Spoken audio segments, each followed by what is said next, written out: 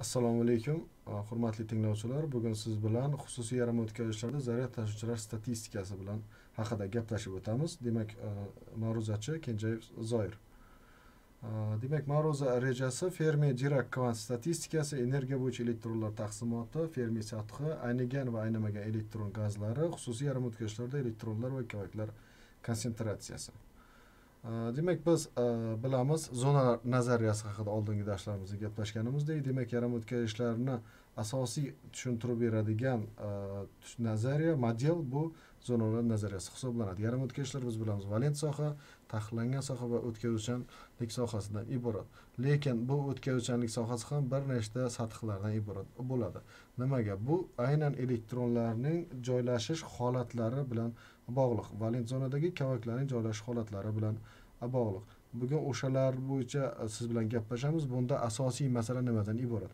Bunda asosiy masala demak kristaldagi bitta elektronning e, qayerda joylashganligi va uning e, qanday harakatda bo'lishligidan tortib to uni yarim o'tkazgichning fizik xususiyatlarini tushuntirib berishigacha tushuntirib berishigacha bo'lgan proseslarni o'rganishga harakat qilamiz. Demak bu yerda kvant nazariyasi keltirilgan. Demak e, kubik panjara uchun eng oddiy tarmoq diagrammasi.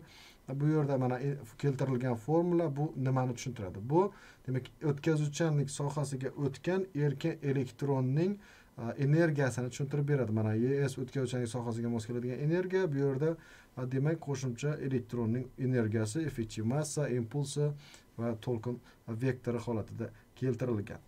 Э, demak э, bundan tashqari biz bilamiz krem э, yarim o'tkazish materiallarimiz to'g'ri zonali va to'g'ri bo'lmagan zonali. Ya'ni to'g'ri o'tishli va to'g'ri bo'lmagan o'tishli tiplarga ham bo'linishi haqida oldingi darslarimizda gaplashib o'tganmiz. Mana bu yerda gali arsenit va germaniy e, elementlari keltirilgan to'g'ri zonali va to'g'ri bo'lmagan zonali holatda ularning valent sohadan o'tkazuvchanlik sohasiga o'tishi va agar n tip yoki p tipli bo'ladigan bo'lsa mana bu yerda keltirilgandek e, unda aynan elektronlar o'tkazuvchanlik sathi zonasiga energetik sathlar ya'ni kirishma atomlar tomonidan hosil qilingan energetik sathlardan o'tkazuvchan sohasiga yoki valent sohaga o'tishi orqali protsesslar kechadi. Endi bu yerda shartli ravishda keltirib o'tilgan dielektriklar yarim o'tkazgichlar va o'tkazgichlar taxlangan soha kengliklari endi umuman klassik nazariya nimaga asoslangan? Klassik nazariya va kvant nazariya ikkalasi Э, bir biri bilan э, uzviy bog'liq hisoblanadi. Kvant nazariyasi klassik nazariyani bekor qilmagan holatda uni yanada kengaytirish uchun xizmat qiladi. Klassik nazariyada elektronlar oqimini biz aynan elektronlar gazi elektronlar buluti sifatida qaraymiz. Va ularning biron bir temperaturadagi olgan kinetik energiyasini demak e, uch taqsim ikki kati energiya bo'lingan bilan hisoblaymiz. Va mana shu berilgan temperaturadagi energiyalarning e, elektronlarning energiya bo'yicha taqsimotini maksvel boltzmann taqsimoti orqali tushuntirishimiz mumkin e, bo'ladi. Mana quyida formula keltirilgan. N teng n nolovoy eksponenta ichida minus w bo'lingan kata bu yerda w elektronga mos keladigan energiya. Endi mana shu boltzmann taqsimot funksiyasi nimani tushuntiradi? Bu klassik tizimlar molekulyar fizikasida berilgan t temperaturadagi w tashqi potensial maydonda ideal gaz zarrachalarining energiya bo'yicha taqsimotini tushuntirib beradi. Va bu yerda ka mana boltzmann doimiysi endi ularni elektronlarni aynigan va aynimagan elektronlar gaziga ham ajratishimiz kerak bo'ladi. Aynigan elektronlar gazi va aynimagan elektronlar gazi. Bu nima? Aynimagan elektronlar gazida demak biz elektronlarni juda ham ko'p miqdorda emas ma'lum bir miqdorda cheklangan miqdorda tasavvur qilamiz. Agar aynigan bo'ladigan bo'lsa unda juda yam ko'p miqdorda elektronlar konsentratsiyasi bo'ladi va bu yerda biz uni maksvel boltzmann taqsimotidan fermi dirak taqsimot statistika funksiyasiga o'tishimiz kerak e, bo'ladi. Endi kvant statistikasi bu nima? Kvant statistikasi demak kvant mexanikasi qonunlariga bo'ysunadigan katta miqdordagi bir biriga o'xshash kvant zarrachalaridan tashkil topgan kvant tizimlar uchun kvant statistikasi usullari qo'llaniladi. Berilgan i kvant sonlari tarkibidan iborat bo'lgan kvant holatining asosiy xarakteristikasi deb katta miqdordagi bir biriga o'xshash bir biriga o'xshash zarrachalardan tashkil topgan tizim zarrachalarining ushbu kvant holatlari egallash darajasini ko'rsatuvchi ni egallash soniga aytiladi. Bunda biz kvant zarrachalarni ikki turga bo'lamiz. Bunda fermionlar va bazonlar. Bu ularning demak spin holatlari ularning tushuntiruvchi to'rtta asosiy kvant xarakteristikalari sonlari bilan iborat bo'ladi. Mana unda fermionlardan tashkil topgan zarrachalarni egallash soni ikkita qiymatni qabul qilishi mumkin. Nol holati yoki bir. Nol bu bo'sh holatda bir bu egallangan holat. Bozonlarda bo'lsa nol bir ikki uch to'rt butun sonlardan tashkil topgan bo'ladi. Masalan fermionlarga elektronlar va kovaklarni misol qilib keltirishimiz mumkin yoki elektronning o'zini ham mana bunda spin soni plyus minus bir taqsim ikkiga teng bo'ladi. Endi fermi dirak kvant statistikasi aynan fermionlarning kristal bo'ylab taqsimlanishini energetik taqsimoti konsentratsion taqsimotlarini tushuntirish uchun xizmat qiladi. Endi bu yerda asosiy tushunishimiz kerak bo'lgan narsa nima? Klassik nazariya va kvant nazariyani ikkisini bir biridan farqi. Klassik nuqtai nazarda barcha elektronlar tashqi elektr maydon orqali g'alayonlanadi deb hisoblanadi kvant mexanika talqinida ham elektronlar tashqi elektr maydon orqali g'alayonlanishi hisobiga olingan holda ularning to'lam to'plam sifatida harakati fermi sathi yaqinidagi energetik holatlardagi Э, elektronlar maydonlari orqali g'alayonlanganligi hisobga olinadi. Ya'ni bu nima degani?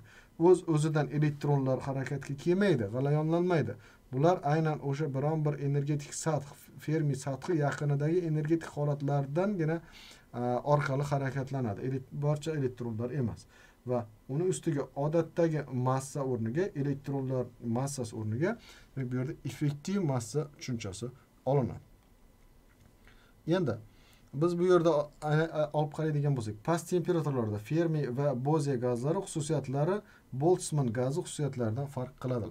Lekin klassik holatlarda bunday cheklanishni tizimning aynashi deb aytiladi. Mana yuqori temperaturalarda elektron gazlar ifodalanish formulalari mana keltirilgan birdan katta bo'lishi kerak eksponensial funksiya va past temperaturalarda fermi dirak taqsimot funksiyasi demak konsentratsiya bo'yicha taqsimlanishi biron bir e energiyaga bo'lgan elektronni aynan maksvel boltsman taqsimot funksiyasiga o'tib qolishini ko'rishimiz mumkin. Bu faqat past temperaturalarda yuqori temperaturalarda demak tizimning aynishi va boshqa holatlarga o'tishimiz mumkin. Endi elektronlarning kvant statistikasini qo'llashda quyidagi holatlar talab qilinadi. Bunda birinchisi elektronlarni bir biridan farq qilmasligi. Ikkinchisi elektronlar holatining yagonaligi. Demak elektronlar bir biridan farq qilmaydi deb tasavvur qilinadi va elektronlar holatining yagonaligi inobatga olinishi shart. Endi mana bizda bu yerda endi yarim o'tkazgichlarni tushuntirishda ularning holatini tushuntirishda fermi sathi tushunchasi kiritiladi. Fermi energiyasi. Bunda nima degani? Bu elektronlar o'zlarining kinetik energetik imkoniyatlariga bog'liq holatda eng quyi energetik sathlardan eng yuqori energetik sathlargacha joylashishi mumkin. Bu yerda fermi energiyasi aynan elektronlar joylash joylashadigan va eng katta energiyaga bo'lgan eng katta energiyaga ega bo'lgan elektronlar joylashadigan sathni biz fermi sathi deb olishimiz mumkin. Bu yerda elektronlar albatta pauli prinsipiga binoan har bir energetik sathda spin orientatsiyalari bir xil bo'lgan ikkita elektron joylashishi mumkin emas. Demak spin orientatsiyasi bittasiniki plyus bir taqsim ikki bo'lsa bittasiniki plyus bir taqsim ikki bo'lishi mumkin. Va mana demak bu yerda vizual holatda ko'rinishi bor bu yerda fermi sathining va e, uning formulalari tegishli formulalari keltirilgan. Demak absolyut nol temperaturada elektronlar egallagan yuqori energetik sath fermi energiyasi deb aytiladi. Bu haqida aytib o'tdik va temperatura oshishi bilan fermi sathining joylashishi e, o'zgarishni boshlaydi. Xususiy yarim o'tkazgichlarda nol absolyut nol temperaturada fermi sathi taqiqlangan soha o'rtasida joylashadi. Endi mana absolyut nol temperaturada ko'rishimiz mumkin. Konsentratsiya va energiya taqsimoti aniq kvadratik ko'rinishda joylashgan. Lekin temperatura oshishi bilan mana bunda egilish paydo bo'ladi. Demak funksiyada egilish paydo bo'lyapti nimaga? Bu qat'iy issiqlik energiyasi hisobiga farqli bo'ladi. Demak nima deyishimiz mumkin? Noldan farqli temperaturalarda fermi sathi atrofida taqsimot funksiyasi sayqallasha boshlaydi va elektronlar egallagan holatlardan egallanmagan holatlarga silliq o'tish kuzatiladi. Endi temperatura oshishi bilan nima protsesslar ketadi? Demak bu yerda protsesslar ayniganlik va aynimaganlik protsesslari va konsentratsiya o'zgarishi bilan bog'liq bo'lgan protsesslar ketadi. Bu yerda masalan metal temperaturasi va fermi temperaturasi orasidagi nisbatga elektron gazi holati uchun э, kuchli darajada bog'liq. Bunda э, ikkita chegaraviy shart. Birinchidan agar e, yarim fermi temperaturasi metal temperaturasidan juda katta bo'ladigan bo'lsa u holatda elektron gazi aynimagan deb ataladi. Agar teskarisi bo'ladigan bo'lsa unda aynigan deb aytiladi. Aynigan elektron gazi klassik ideal gaz xususiyatlaridan farqli kvant mexanikasidagi zarrachalarning bir biridan farq qilib bo'lmaslik xususiyatidir. Ayniganlik temperaturasi deb gazning kvant xususiyati namoyon bo'ladigan temperaturaga aytiladi. Endi buni yarim o'tkazgichlar uchun quyidagicha tushuntirishimiz mumkin. Ayni o'tkazuvchanlik sohasidagi elektronlar zichligi va sohadagi elektronlar zichligidan yetarli darajada kichik bo'lsa aynimaga yarim deyiladi bunda klassik statistikaga bo'ysunadi. Elektronlar konsentratsiyasi energetik taqsimoti va bunda maksimal taqsimot qonuniyati bilan tushuntirish mumkin. Va mana aynimaganlik sharti keltirilgan. Endi bu yerda aynigan yarim o'tkazgichlar deganimiz nima? Elektronlar yoki kavaklar konsentratsiyasi yetarli darajada katta bo'lgan yarim o'tkazgich aynigan yarim o'tkazchilar deyiladi. Asosiy zaryad tashuvchilar elektronlar bo'lgan yarim o'tkazchilarda erkin elektronlar gazining ayni sharti e, demak fermi sathining o'tkazuvchan sohasida bo'lishidir demak quyidagi tip va bunda yarim o'tkazchilar biz n tipli yarim o'tkazchilar deymiz. Asosiy zaryad tashuvchi kavaklar bo'lgan yarim o'tkazishda erkin kavaklar gazining aynish sharti fermi sathining valent sohada bo'lishidir. Mana demak aynish sharti keltirilgan bu yerda va bunday yarim o'tkazishlarni biz p tip yarim o'tkazishlar deymiz. Demak umumiy holatda elektronlar kavaklarning energiya bo'yicha taqsimotini o'tkazuvchanlik zonasidagi elektronlar va valent zonasidagi kavaklarning o'sha fermi sathini to'ldirish yoki bo'lmasa bo'sh holatda bo'lishi bilan tushuntiramiz. Buni tushuntiruvchi funksiya fermi dirak taqsimot funksiyasi deyiladi. Fermi dirak taqsimot funksiyasida asosiy e, parametr bu fermi sathi hisoblanadi. Berilgan temperaturada harakatchan va qo'zg'alma zaryad tashuvchilar konsentratsiyasi fermi sathi holati bilan aniqlanadi. Bu sath bir elektronga mos keluvchi jismning o'rtacha issiqlik energiyasiga mos keladi. Absolyut nol temperaturadan farqli temperaturada bu sathning to'lish ehtimoli nol beshga teng. Fermi dirak taqsimot funksiyasi nimani tushuntiradi shundan kelib chiqib aytishimiz mumkin fermi dirak taqsimot funksiyasi berilgan temperaturada shu aynan berilgan energiyaga ega bo'lgan elektronlarning elektronlar bilan fermi sathining to'lish ehtimolligini tushuntirib beradi. Mana elektronlar uchun to'lish ehtimolligi berilgan va kovaklar uchun to'lish ehtimolligi formulalari berilgan. Demak shu ma'lum bir temperaturada shunday energiyaga bo'lgan elektronlar bilan fermi sathining to'lish ehtimolligi o'n foiz yigirma foiz yuz foiz hokazo. Endi bu formulalarning boshqacha ko'rinishi ayrim adabiyotlarda uchraydi. Demak formulaga g eksponentining oldiga g koeffitsient keladi. Bu aynish koeffitsiyenti deyiladi. Va aynish koeffitsiyenti bu shart qo'shilishi bu aynish koeffitsiyenti demak donor energetik sathlar uchun bir taqsim ikkiga akseptor energetik sathlar uchun esa ikkiga teng bo'ladi. Va ionlanish va atomni neytrallash uchun kerak bo'lgan elektronlar spinlarining nisbatini ko'rsatadi. Bu g koeffitsiyentimiz demak bu yerda ko'rdik past temperaturalarda yoki xususiy yoki kam aralashmali yarim o'tkazgichlarda elektron yoki yoki kavak gazlari aynimagan gazlar holatiga o'tadi. Va bu yerda o'z o'zidan fermi funksiyasi maksel boltzman klassik statistikasiga bo'ysunadi. Quyidagi keltirilgan formulalarda demak elektronlar va kavaklarning konsentratsiyalari keltirilgan xususiy yarim o'tkazgichlarda demak bu yerda mn va mp bu e, elektron va kavaklarning effektiv massalari taxlangan soha kengligi va mana ko'rishimiz mumkin fermi sathi. Konsentratsiya albatta fermi sathi qiymatiga va effektiv massaga uzviy bog'liq hisoblanadi. Mana bu formulalarning boshqacharoq ko'rinishi demak bu yerda valent va o'tkazuvchanlik sohasida elektronlar hisoblash formulalari keltirilgan kavaklar uchun va elektronlar uchun.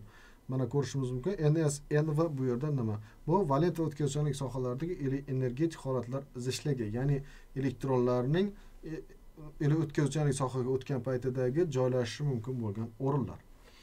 Demak mana ko'rishimiz mumkin bu yerda xususiy konsentratsiyalarni va endi mana shundan kelib chiqqan holatda o'tkazuvchan sohadagi va kovak sohadagi elektronlarning uchun elektroneytrallik tenglamasini yozishimiz kerak bo'ladi. Demak muvozanat holatida har qanday yarim o'tkazgichda manfiy zaryadga ega bo'lgan zarrachalar elektronlar ionlashgan akseptor kirishma atomlari konsentratsiyasi musbat zaryadlangan zarrachalar kovak ionlashgan donor kirishma atomlar konsentratsiyasiga konsentratsiyaga teng bo'ladi. Va elektroneytrallik tenglamasidan kelib chiqib yozadigan bo'lsak mana xususiy yarim o'tkazgichlarda elektronlar va kovaklar konsentratsiya o'zaro teng bo'lishi kerak va buni ni deb aytamiz. Agar kirishmali donor yoki akseptor kirishmali yarim o'tkazgichlar uchun mana elektroneytrallik tenglamasi keltirilgan. Mana bu yerda kovaklar va donor sathlar konsentratsiyalari bu yerda elektronlar va minus zaryadlangan akseptor kirishma atomlari konsentratsiyasi yig'indisi bilan tushuntiriladi. Demak xususiy yarim o'tkazgichlarda uchun mana konsentratsiyani hisoblash formulasi bu yerda xususiy kirishma atomlar konsentratsiyasini hisoblash va xususiy atomlar mana e, bu yerda yana bir narsani tushuntirishimiz kerak bo'ladi. Demak fermi sathini qanday hisoblash mumkin? Mana quyidagi ekranlarda keltirilgan mu deb yoziladi ayrim joylarda ayrim joylarda f ayrim joylarda y indeksida f. ahamiyati yo'q hammasi fermi sathi va fermi sathini hisoblash formulasi mana minus yj bo'lingan ikki plyus uch taqsim ikki kt natural logarifm demak effektiv massa kovakning effektiv massasi bo'lingan elektronning effektiv massasi yoki boshqacha ko'rinishi ta'kidlab o'tishimiz kerak bu formula fermi sathini hisoblash uchun va quyida yana ikkita formula keltirilgan ni kvadrat teng n ko'paytirilgan bu demak elektron neytrallik shartining formulasi ni bu shu xususiy yarim o'tkazgichlardagi zaryad tashish konsentratsiyasini hisoblash formulasi. Endi mana demak xususiy zaryad tashish konsentratsiyasi temperaturaga bog'liq. Sababi mana keltirilgan formulada va bu yoqdagi formulada ham ko'rishimiz mumkin. Temperatura oshishi bilan xususiy zaryad tashish konsentratsiyasi bevosita oshib boradi. Mana bu yerdagi slaydda biz keltirib o'tilgan demak galiy arsenid kremniy germaniy materiallar uchun taqiqlangan soha kengligi va xususiy zaryad tashlash konsentratsiyasi shu yerdan xulosa qilishimiz mumkinki taqiqlangan soha kengligi qancha kichkina bo'ladigan bo'lsa xususiy zaryad tashlash konsentratsiyasi shuncha katta bo'ladi. Taqiqlangan soha kengligi ortishi bilan xususiy zaryad tashlash e, konsentratsiyasi kamayib boradi. E, mana keltirib bu yerda demak xususiy zaryad konsentratsiyasining temperaturaga bog'liqligi to'rtta element bilan ko'rsatib berilgan.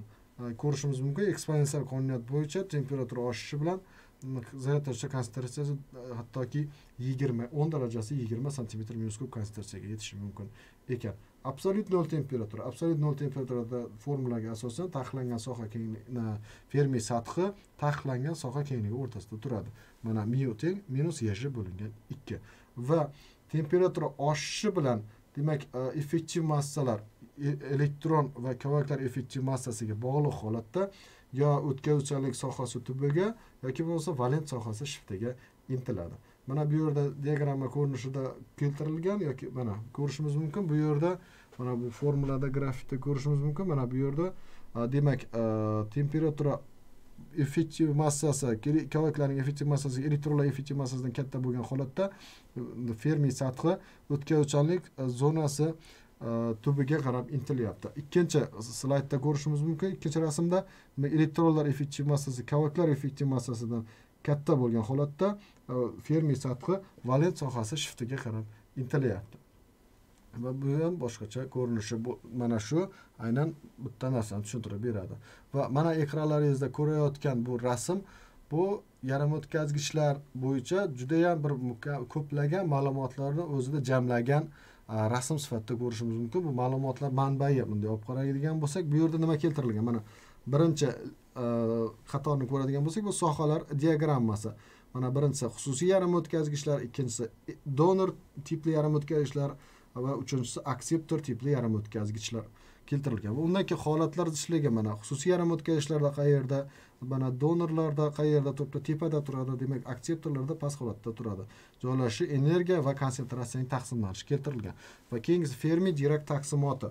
Mana fermi dirak taqsimoti funksiyasi yarim o'tkazgichlar xususiy yarim o'tkazgichlarda demak fermi sathi o'rtada joylashgan va tepa pastga qarab siljishi mumkin. Xususiy donor tipli yarim o'tkazgichlarda demak tepa sohada taxlangan sohadan tepada o'rtasida tepada turadi. Э, Akseptor sathlarda demak pastda joylashgan mana fermi sathi. Э, и э, undan keyin termodinamik muvozanat holatidagi zaryad tashish konsentratsiyasi. Mana ko'rishimiz mumkin xususiy yarim o'tkazgichlarda konsentratsiyasi elektron va kovaklar konsentratsiyasi o'zaro teng. Donor tipli yarim o'tkazgichlarda o'tkazuvchanlik sohasidagi elektronlar konsentratsiyasi juda yam yuqori pastda demak valent akseptor yarim o'tkazishlarda valent sohadagi kovaklar konsentratsiyasi juda yam yuqori. Biroq termodinamik muvozanat holatda hammasi uchun bitta formula n ko'paytirilgan p teng n i kvadratga teng bo'lib qolaveradi. E'tiboringiz uchun rahmat.